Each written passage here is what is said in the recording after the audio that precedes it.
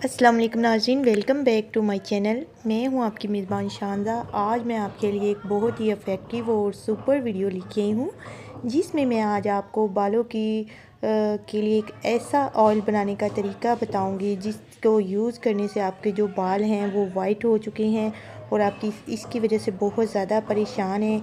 आपको कोई भी हेयर डाई लगाने की ज़रूरत पेश नहीं आएगी। ये ऑयल जो आज मैं आपको बताऊँगी इसको लगाने से आपके जितने भी जो बाल हैं वाइट हो चुके हैं स्कैल्प के अंदर, वो बिल्कुल परमानेंटली ब्लैक हो जाएँगे क्योंकि ये ऑयल बहुत ही बेहतरीन है। एक तो ये आपके बालों को बहुत ज़्यादा ब्लैक करेगा और उसके अलावा आपके बालों की ग्रोथ में बहुत ज़्यादा इजाफा करेगा। बालों को स्ट्रॉन्ग बनाएगा लॉन्ग बनाएगा और आपके बालों को रीग्रोथ करेगा। इसके अलावा अगर आपके बाल गिर रहे हैं, आप इस वजह से भी बड़े परेशान हैं तो ये बालों के जो गिरने की हेयर फॉल है, उसको भी स्टॉप करेगा और आपके इसको बहुत ज़्यादा फ़ायदे होंगे।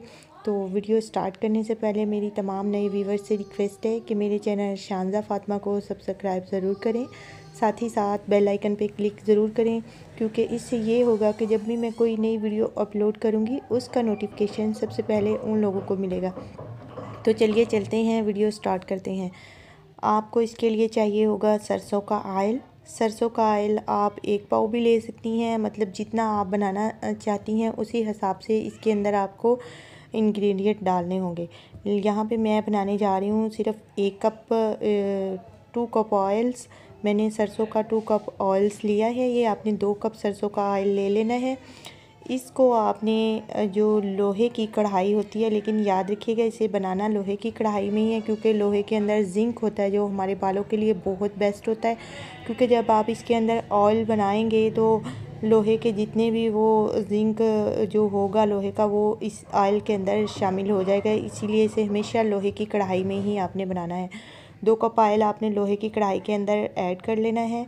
उसके बाद आपको चाहिए होगी हिना, यानी कि मेहंदी, जो आम मेहंदी होती है, हम अपने बालों में लगाते हैं। विदाउट कलर मेहंदी पाउडर आपने दो चम्मच इसके अंदर भर के ऐड कर देने हैं सरसों के ऑयल के अंदर। इसके अलावा अगर आप मेहंदी के पत्ते लेके उन्हें खुश्क उन्हें ड्राई करके पीस के उसका पाउडर भी बना के आप यूज़ कर सकते हैं वो भी बहुत अच्छा होता है। आप वो वाला भी डाल सकते हैं दो चम्मच ठीक है? आ, मतलब कोई सी भी आप डाल लें जो आपको मुनासिब लगे।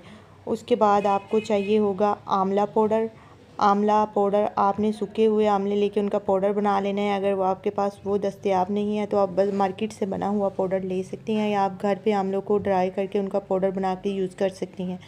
दो चम्मच आपने इसके अंदर आंवला पाउडर ऐड करने हैं, क्योंकि आंवला जो होता है हमारे बालों को ब्लैक करता है और हमारे बालों की ग्रोथ में इजाफा करता है, हमारे बालों को लॉन्ग बनाता है स्ट्रॉन्ग बनाता है और इसके अलावा ये हमारे जो दिमाग है, उसके लिए भी बहुत ही अच्छा होता है। उसके बाद आपको चाहिए होगा कलवंजी पाउडर, ठीक है?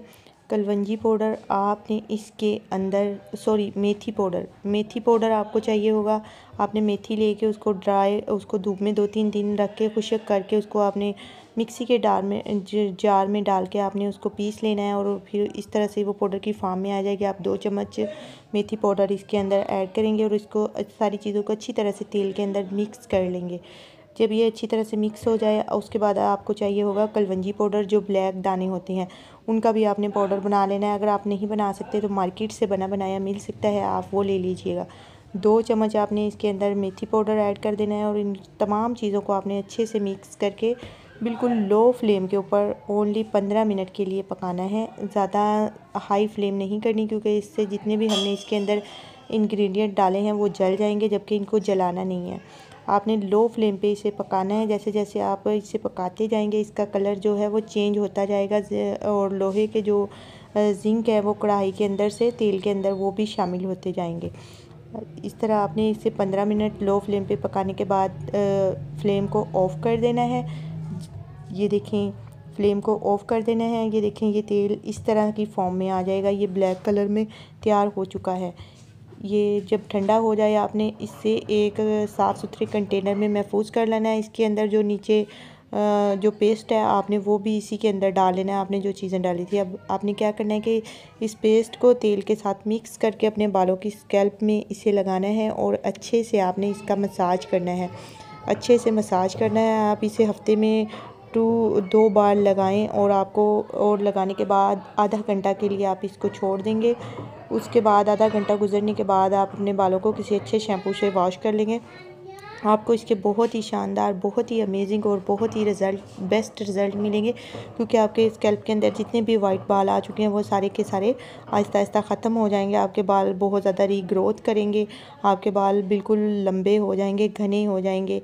और आपके बाल में अगर हेयर फॉल है, आपका हेयर फॉल का प्रॉब्लम आ रहा है, वो भी सॉल्व हो जाएगा। नाजरीन, ये ऑयल जो मैंने आपको बताया, इसे आप अपने घर पे ज़रूर बना के ट्राई कीजिएगा और आपके इसको बहुत ज़्यादा फ़ायदे मिलने वाले हैं। तो उम्मीद करती हूँ आपको मेरी वीडियो पसंद आएगी। अगर आपको मेरी ये वीडियो अच्छी लगे तो मेरे चैनल शानजा फातिमा को सब्सक्राइब ज़रूर कीजिएगा। साथ ही साथ बेल आइकन पर क्लिक ज़रूर कीजिएगा। इसी के साथ अपनी मेज़बान शानजा को इजाज़त दीजिए। अल्लाह हाफिज़।